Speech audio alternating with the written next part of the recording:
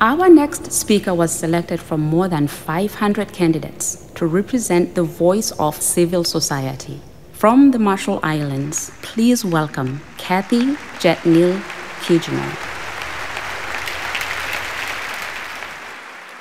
Molib, I would like to share with you a poem that I have written for my daughter, Matafele Peinem.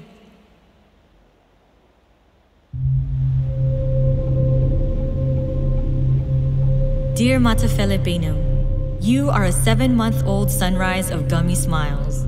You are bald as an egg and bald as the Buddha. Your thighs that are thunder, shrieks that are lightning, so excited for bananas, hugs, and our morning walks along the lagoon.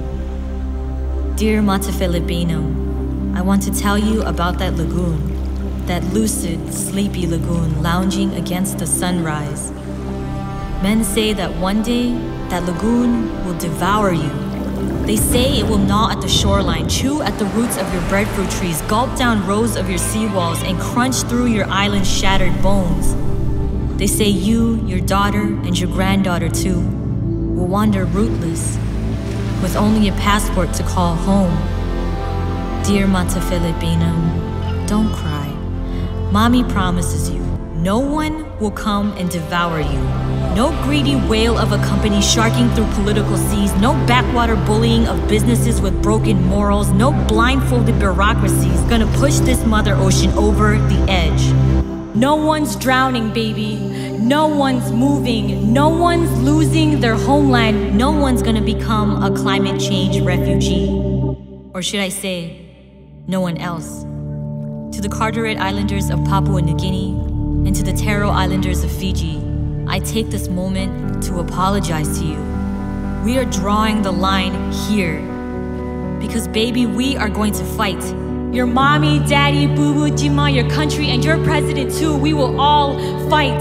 And even though there are those hidden behind platinum titles who like to pretend that we don't exist, that the Marshall Islands, Tuvalu, Kiribati, Maldives, and Typhoon Haiyan in the Philippines, and floods of Pakistan, Algeria, and Colombia, and hurricanes, tidal waves, and earthquakes didn't exist?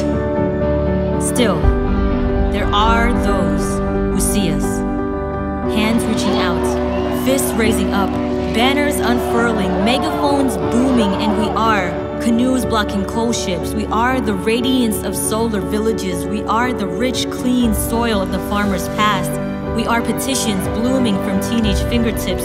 We are families biking, recycling, reusing, engineers dreaming, designing, building, artists painting, dancing, writing. We are spreading the word. And there are thousands out on the street, marching with signs, hand in hand, chanting for change now marching for you, baby.